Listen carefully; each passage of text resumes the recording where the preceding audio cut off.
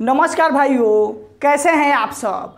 आज के क्लास में हम बताने वाले हैं N T P C C B T two का जो पेपर हुआ है लेवल फोर और लेवल सिक्स का, उसका एनालिसिस बताने वाले हैं। और ये बताने वाले हैं कि किस पार्ट से कितना क्वेश्चन पूछा गया। और आगे N T P C C B two का जो एग्ज़ाम होने वाला है लेवल टू थ्री और फाइव और ग्रुप डी उसके लिए मेरा क्या रणनीति होना चाहिए? चलिए बताते हैं। देखिए, हम शुरू से ही बताते आए हैं कि किसी भी चीज़ का बेसिक कंसेप्ट जो होता है उसको क्लियर रखिए।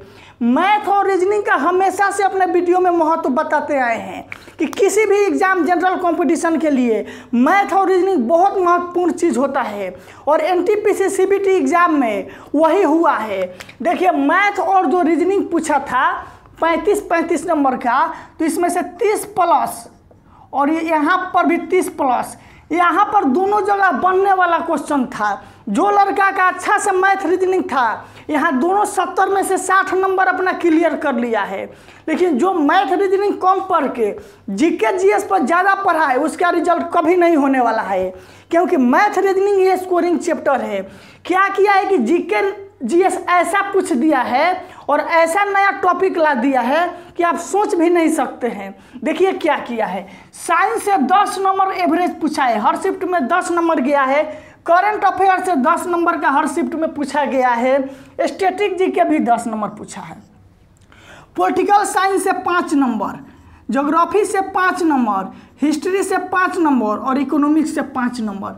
यानी कि पचास नंबर का पूछा है। और हम शुरू से ये बात बताते आए हैं कि मैथ, रीजनिंग और साइंस पढ़िए और साइंस के साथ में थोड़ा सा इसका ध्यान रखिए। इसको ज़्यादा पढ़ने की ज़रूरत नहीं है।